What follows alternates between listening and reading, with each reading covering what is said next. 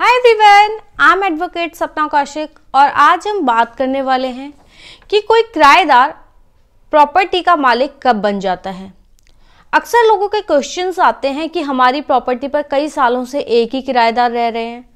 क्या 12 साल के बाद वो हमारी प्रॉपर्टी पे एडवर्स पोजेशन क्लेम कर देंगे? या ऐसे ही कुछ और क्वेश्चंस आते हैं? कई बार किराएदार का क्वेश्चन आता है कि मैं इस प्रॉपर्टी पर पिछले 50 सालों से रह रहा हूँ, अब ये प्रॉपर्टी मेरी हो गई है, क्या मैं इस पर क्लेम कर सकता हूँ? अक्सर ऐसे क्वेश्चन हमारे पास आते हैं।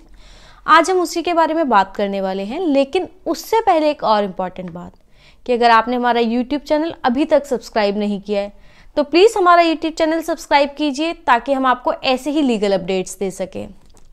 तो अक्सर लोगों का क्वेश्चन सबसे पहले ये होता है कि क्या कोई किराएदार हमारी प्रॉपर्टी पर अगर 12 साल से ज़्यादा से रह रहा है तो वो हमारी प्रॉपर्टी पर एडवर्स पोजीशन क्लेम कर सकता है। एडवर्स पोजीशन का मतलब ये होता है कि अगर कोई भी व्यक्ति किसी प्रॉपर्टी में 12 साल से ज़्यादा तक और अगर गवर्नमेंट की प्रॉपर्टी है, सरकारी संपत्ति पे 30 साल से ज़्यादा तक बिना किसी रोक टोक के, बिना कोई पेमेंट किए या किसी तरीके से शांतिपूर्वक रह लेता है, उस पर आप अपना क्लेम नहीं करते हैं तो वो प्रॉपर्टी उसकी हो जाती है। यानी कि अगर कोई व्यक्ति किसी प्रॉपर्टी पर, कोई प्राइवेट प्रॉपर्टी यानी किसी व्यक्ति की, किसी इंडिविजुअल की, किसी कंपनी की या किसी कोई ऐसी प्रॉपर्टी है, जिस पर सरकारी कोई प्रॉपर्टी नहीं है प्राइवेट प्रॉपर्टी पर अगर कोई 12 साल से ज़्यादा तक बिना किसी बाधा के, बिना किसी रुकावट के, बिना किसी रोक टोक के, बिना किसी कानूनी पचड़े के अगर कोई 12 साल तक उस पर रह लेता है तो वो उसकी प्रॉपर्टी मानी जाती है। तो अक्सर लोग पूछते हैं कि कोई किराएदार अगर 12 साल तक रह गया तो वो भी उस संपत्ति का मालिक बन सकता है एडवर्स पोजिशन क्लेम कर सकता है। जी नहीं। कोई भी व्यक्ति अगर कोई किराएदार है, अगर आपने उनको रेंट अग्रीमेंट बनवाया था उनके साथ, या आप उनको, वो आपको रेंट पे करते हैं और आपके पास उसकी रसीद है तो किराएदार हमेशा किराएदार रहेगा। वो उस पर एडवर्स पोजेशन क्लेम नहीं कर सकता। लेकिन अगर आपने कभी कोई रेंट एग्रीमेंट नहीं बनवाया, आपने कभी उनसे रेंट नहीं लिया तो वो उस प्रॉपर्टी पर एडवर्स पोजेशन क्लेम कर सकते हैं। रेंट अग्रीमेंट आप कभी भी किसी को प्रॉपर्टी रेंट पर देते हैं तो हमेशा ध्यान रखें कि आप अपनी प्रॉपर्टी देते वक्त रेंट अग्रीमेंट ज़रूर बनवाएँ।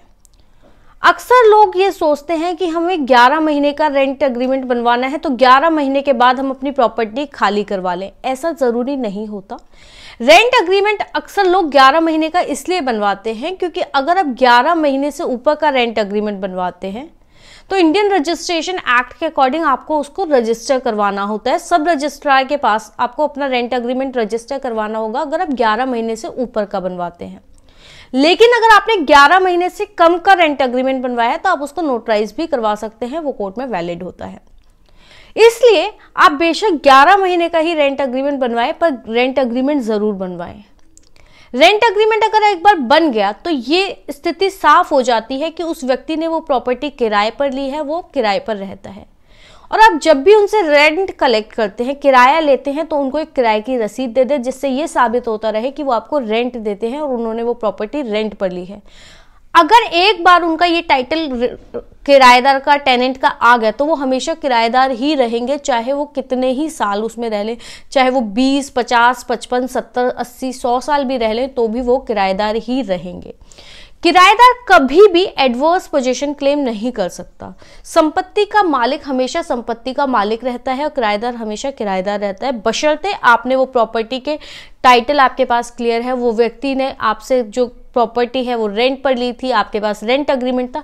भले ही आपने एक बार रेंट अग्रीमेंट किया और उसके बाद अगर आपने रिन्यू नहीं भी करवाया तो ये माना जाएगा कि उस व्यक्ति ने वो प्रॉपर्टी रेंट पर लिया और वो हर साल उसको रिन्यू करवाता गया क्योंकि रेंट अग्रीमेंट में एक क्लॉज होता है कि ग्यारह महीने के बाद आप उसका कितना किराया बढ़ा देंगे। यानी कि अगर आप 11 महीने के बाद अपने रेंट अग्रीमेंट रिन्यू नहीं भी करवाए अगर किसी कारणों से तो भी ये माना जाएगा कि वो व्यक्ति किराए पे रह रहा है और आपके पास किराए की रसीदें होनी चाहिए। इसके लिए हमेशा ये कोशिश करें कि रेंट अग्रीमेंट ज़रूर बना के रखें। अगर आपके पास रेंट अग्रीमेंट नहीं है तो वो व्यक्ति एडवर्स पोजीशन शायद क्लेम कर सकता है, क्योंकि वो ये कह सकता है कि उसने ये प्रॉपर्टी खरीद ली या वो इतने टाइम से उस पर रह रहा है और आपने ये प्रॉपर्टी उसको गिफ्ट कर दी। ऐसे बहुत सारे क्लेम्स उस प्रॉपर्टी पर आ सकते हैं, इसलिए हमेशा याद रखें कि किराएदार तभी किराएदार रहेगा जब आपने उसको किराएदार वाली पोजीशन दी होगी। यानी कि आप उससे रेंट कलेक्ट करते हैं, आपके पास रेंट अग्रीमेंट है। किराए पर कोई भी प्रॉपर्टी दें तो रेंट अग्रीमेंट ज़रूर बना दें। ये सबसे एसेंशियल कंडीशन होती है। सबसे महत्वपूर्ण जो बात है वो यही है कि आप रेंट अग्रीमेंट बनवाएँ। आपको ये वीडियो कैसा लगा और आप किन और मुद्दों पर वीडियो चाहते हैं प्लीज़ कमेंट सेक्शन